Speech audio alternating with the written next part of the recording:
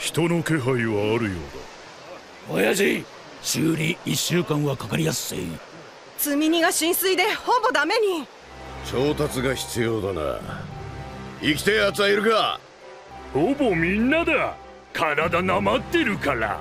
俺も行くよい。ダメよ。あんた見習いでしょ？滝を登ったよな。なぜここに海と島が？